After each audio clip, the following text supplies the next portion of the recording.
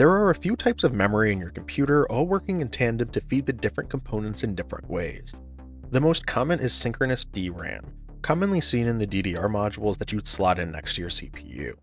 Alternatively, you can also have DDR integrated into your motherboard, though this isn't really common outside of lower end laptops and consoles where they aren't supposed to be user upgradable.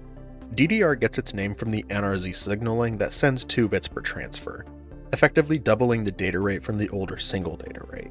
Related to this memory is GDDR, short for graphics double data rate, in the sense that it uses capacitors to store the individual bits. However, when it comes to how the actual memory interfaces work, they function very differently both at the physical layers and control logic. Where DDR5 has a potential CAS latency of 32 clocks at 6400 megatransfers per second, equating to about 10 nanoseconds of latency from entering your target address to bytes leaving the DRAM chip. GDDR by comparison clocks way higher, but also has a CAS latency of around 130 nanoseconds at all clocks.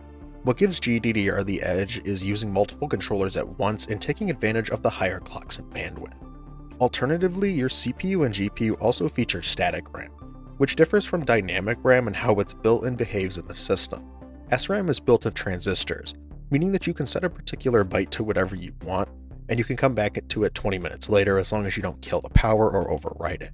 This solution ultimately draws more power, but has crazy fast access times as compared to DRAM.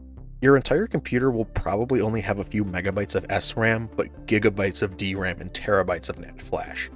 This all contributes to your system's memory hierarchy, which is a topic covered in this video here.